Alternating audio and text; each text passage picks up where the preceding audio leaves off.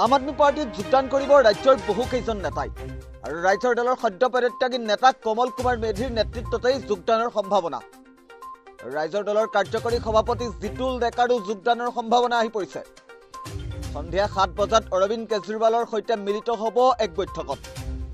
আৰু আপৰ মুখ্য কাৰ্যালয়ত অনুষ্ঠিত হ'ব যোগদান কাৰ্যসূচী। যোগদান কাৰ্যসূচীত উপস্থিত থাকিব আপৰ বহু কেইগৰাকী শীৰ্ষ নেতা। আমি ইতিমধ্যে জনাইছোঁ যে এটা গুৰুত্বপূৰ্ণ খবৰ এটা বিগ ব্ৰেকিং নিউজ আজি আম আদমি পাৰ্টীত যোগদান কৰিব ৰাজ্যৰ বহুকেইজন নেতাই।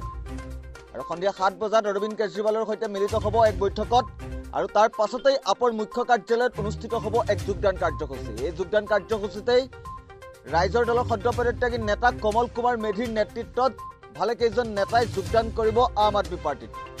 আৰু ৰাজ্যৰ দলৰ কাৰ্যকৰী সভাপতি জিতুল ডেকাৰো যোগদানৰ সম্ভাৱনা আহি পৰিছে।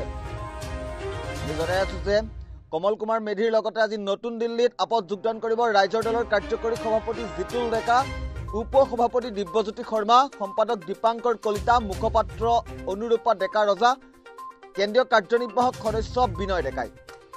আৰু এটা খুবেই গুৰুত্বপূৰ্ণ খবৰ এটা বিগ ব্ৰেকিং নিউজ সন্ধিয়া সাত বজাত আপত যোগদান কৰিব এইসকল নেতাই। নতুন দিল্লীত থকা আপৰ মুখ্য কাৰ্যালয়তে অনুষ্ঠিত হ'বলগীয়া এক যোগদান কাৰ্যসূচীত তেওঁলোকে আনুষ্ঠানিকভাৱে আজি দলটোত যোগদান কৰিব। দুপৰীয়া দুই বজাত অনুষ্ঠিত এই যোগদান কাৰ্যসূচীত উপস্থিত থাকিব আপৰ কেইবাগৰাকীও শীৰ্ষ নেতা।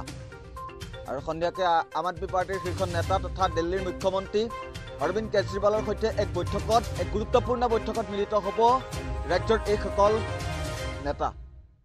আৰু পুনৰ উল্লেখ কৰিছো যে কমল কুমাৰ মেধিৰ লগতে আজি নতুন দিল্লীত আপত যোগদান কৰিব ৰাইজৰ দলৰ কাৰ্যকৰী সভাপতি জিতুল ডেকা উপ সভাপতি দিব্যজ্যোতি শৰ্মা মুখপাত্ৰ অনুৰূপা ডেকা ৰজা কেন্দ্ৰীয় কাৰ্যনিৰ্বাহক সদস্য বিনয় ডেকাই।